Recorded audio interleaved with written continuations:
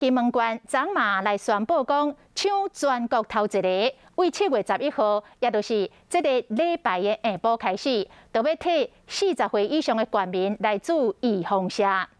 金门县目前的疫苗覆盖率是十二点四趴，伫全国排名第七。为着要互做预防射速度搁较紧嘞，即个各位伫金城体育馆来开设着大型的注射站，互当地民众透过网络甲电话来注文。啊，嘛甲进前所规划的共款，用分区